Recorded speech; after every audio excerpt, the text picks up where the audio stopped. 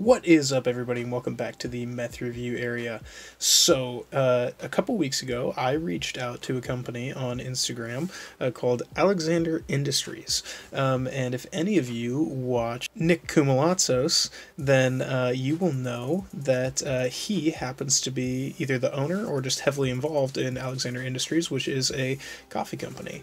Um, and so uh, I went ahead and just sent him a message and said, hey, I drink, for the most part, Black Rifle Coffee. I'm actually a member of their coffee club, but one of the things I've noticed about their coffee is that I don't know really where it's sourced or if it's ethic- ethically sourced, um, and they're just not uh, super transparent about it that I've been able to find. I enjoy their coffee quite a bit. Um, I, I also enjoy Starbucks coffee sometimes, that's the truth. So I just reached out to him and said, hey, you know, I, I drink this stuff, uh, but I know for a fact where your coffee beans come from because you did a whole uh, video on the journey um, of your coffee beans um, and, and how he came up with uh, Raiders Roast. Um, and so I got a I got a message back and said, yeah, we, we'd love to send you a sample. So as far as I know, um, all that is in this package is a sample, uh, but I just want to go ahead and uh, open this package up, see what we got, and then uh, I'll try out this this coffee tomorrow and and see uh, what we think of it. So uh, hold on one sec. All right, so inside the package was uh, looks like a little sample size um, packet of uh, Raiders Roast Coffee um, by uh, a coffee company uh, a coffee co um, and uh, i'm really excited to give this a try. It's supposed to have a really nice uh, buttery flavor. I'll go ahead and um, link to the video uh, when uh, he released uh, raiders roast um, and i'm really excited to get this in the pour over tomorrow morning and catch my thoughts on it on film. Good morning everybody. It's saturday morning and it's time to give our raiders roast a try. And let's go upstairs and make some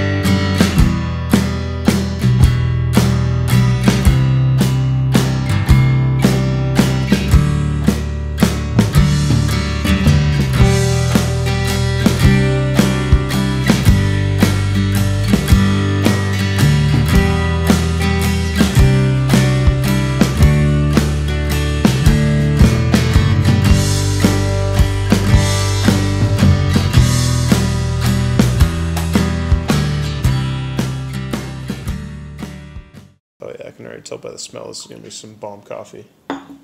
Alright guys, so here I am back with my impressions of Raiders Roast from A Coffee Company. And I'm going to tell you straight up how it is.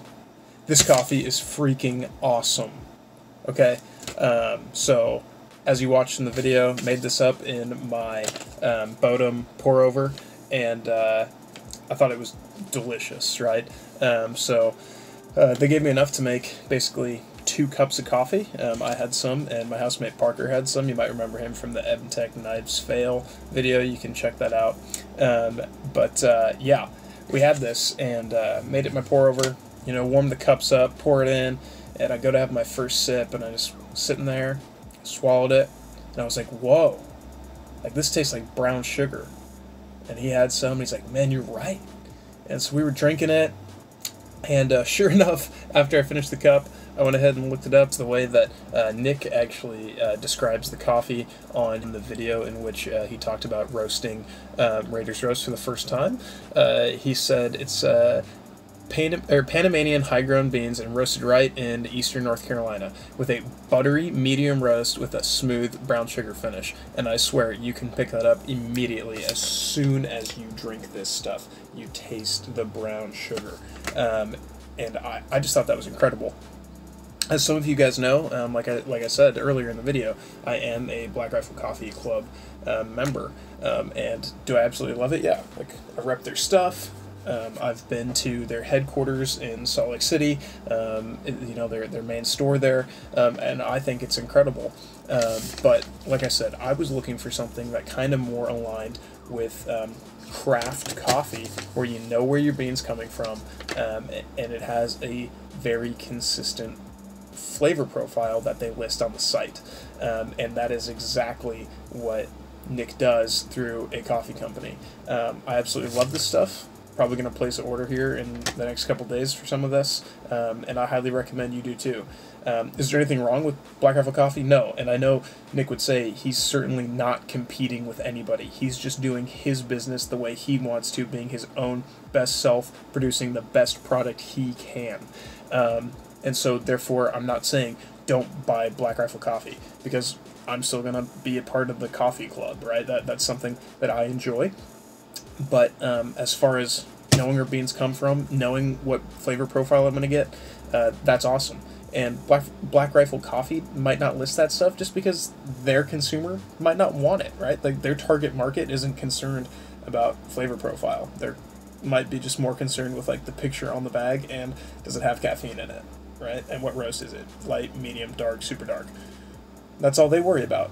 But this, I want something where I can read a description of what it's going to taste like, and I can drink it, and it's going to be boom consistent right there. Um, I think this is knockout stellar coffee. Um, I would encourage you guys to go out, um, support his company. It, it's great coffee. Um, sad I hadn't tried it sooner. It's been out for like almost a year now. Um, but thanks for sending them out. Uh, thanks for answering in the DMs. Uh, I really wanted to make a video on this. Please support um, their website and their company. Um, I mean, American company, uh, great guy who runs it, um, and really uh, looking forward to drinking more of their coffee in the future. Um, please check us out on Instagram, uh, Twitter. Um, check out our blog. Uh, I want to start doing more blogging, so um, that is definitely going to be linked down below as well.